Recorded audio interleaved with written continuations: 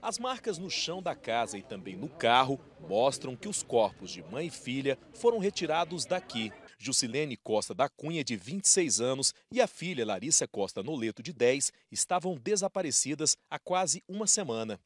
Os corpos foram encontrados pela Polícia Militar carbonizados em uma região de mata em Guapó, a cerca de 40 quilômetros do local onde teriam sido mortas.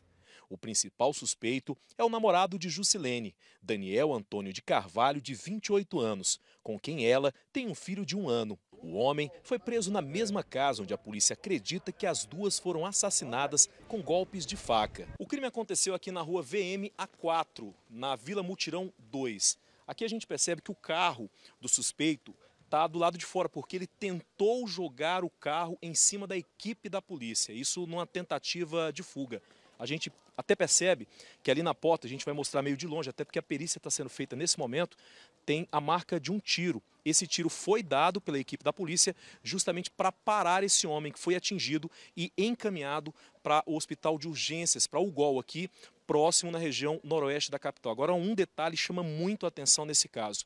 Assim como tentou fugir e o carro ficou parado, logo de imediato os peritos detectaram que ali no porta-malas do veículo há muita marca de terra e também de sangue. Esse sangue já foi comprovado é sangue humano. E outro detalhe é que o cheiro aqui está muito forte. A polícia acredita que esse homem matou as vítimas já há muito tempo e tentou desfazer desses corpos, levando os dois corpos no porta-malas e daqui ele tentou então colocar fogo lá na região de Iguapó. A polícia também acredita que os corpos estavam aqui dentro de um cômodo e aí quando ele percebeu que não tinha mais o que fazer, que o cheiro já estava ficando muito forte, esse homem atentou, aliás, tentou sair daqui levando os corpos. O portão ficou naquela situação.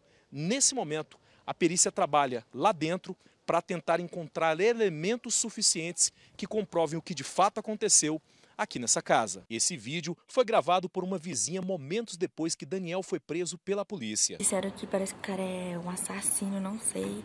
E tentou matar os caras aqui policial, eles já levaram ele. Além de Daniel, outro homem também foi preso. Ele teria ajudado o assassino a desaparecer com os corpos.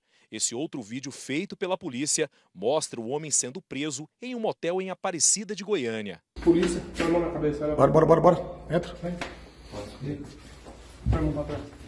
Mãe e filha podem ter sido mortas há vários dias. Quando o mau cheiro começou a incomodar, o suspeito colocou os corpos no porta-mala do carro e levou para uma mata em Guapó, onde colocou fogo. A polícia técnico-científica esteve na casa para fazer a perícia e encontrou duas identidades, uma da vítima, Jusilene, e outra do suspeito, Daniel Antônio. O carro usado para transportar os corpos pertence à irmã do suspeito. Jusilene era conhecida como Jusce. Ela e a filha eram naturais da cidade de Novo Repartimento, no Pará, a 500 quilômetros de Belém.